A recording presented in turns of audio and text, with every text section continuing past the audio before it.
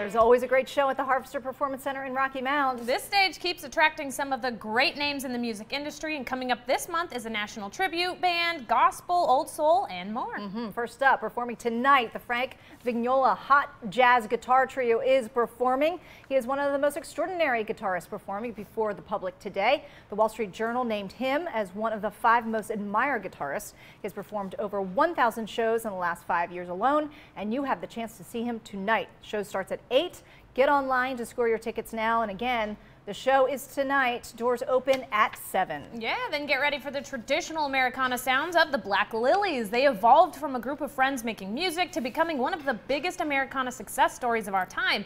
They've had countless hits, breaking in the Billboard Top 200 for country, and their music reaches a fan base that spans over several generations. They're performing Friday, November 16th. The concert starts at 8 p.m. Doors open at 7. Tickets are still available online, and prices go up $5 the day of the show, so be sure to snag your seats early. Then on Saturday, November 17th, the fun continues with another classic Americana performance. Penny and Sparrow are performing with Joy Oladokun to give you a performance of a lifetime. They'll be performing countless hits and presenting a unique flavor to the genre.